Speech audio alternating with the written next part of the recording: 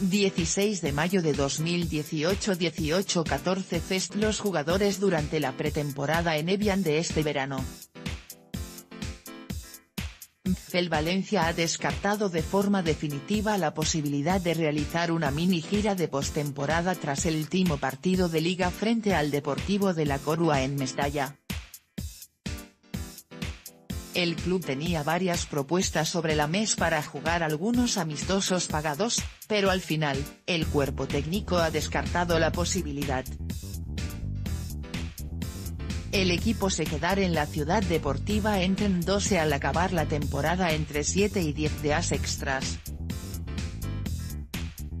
La plantilla regresar al trabajo durante la primera semana de julio y el de a 10 empezar el trabajo de campo, antes haber pruebas médicas y físicas en las que es posible que Marcelino AN no es presente.